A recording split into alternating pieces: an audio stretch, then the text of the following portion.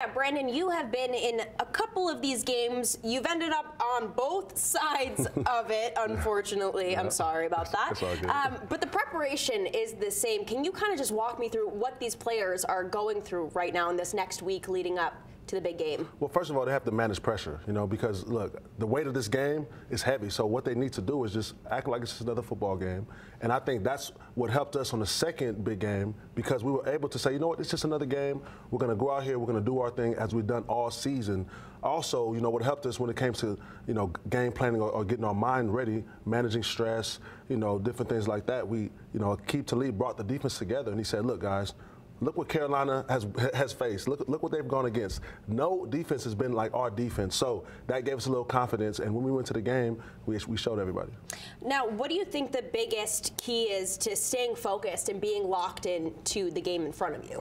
You know, look, the week of the big game is, is is huge, right? There's a lot of events going on. There's a lot of things, and initially, you know, a team doesn't have curfew, so our first big Uh-oh. game, we didn't have curfew, so you know we were out in the city in New York City. We were doing too much. TMZ called us, uh, and they made an article about what we were doing in the city. So The media. exactly. So what we needed to do was just okay. Instead of worrying about having a good time and um, you know attending all the festivities that week, just focus up, lock in. And that's what we did the second big game, which is why the outcome was right completely different. Right, it was night and day there. Now, also staying healthy. Health is so important right now, especially Yeah. for a guy like Patrick Mahomes.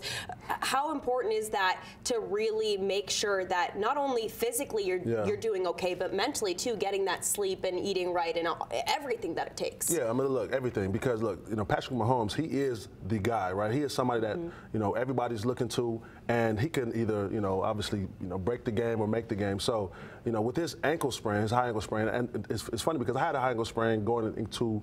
Uh, the uh, big game that when I played, uh, you know, the second time as well. So it was tough. I was still you know, my you know ankle injury was lingering for a while, so I believe Patrick Mahomes will be lingering for a little bit, but I'm sure he's doing everything he needs to do, all the treatment, getting all the massage that he needs, and hopefully, right, we'll see a different Patrick Mahomes. He'll be able to move in and out the pocket uh, against that that elite Eagles front.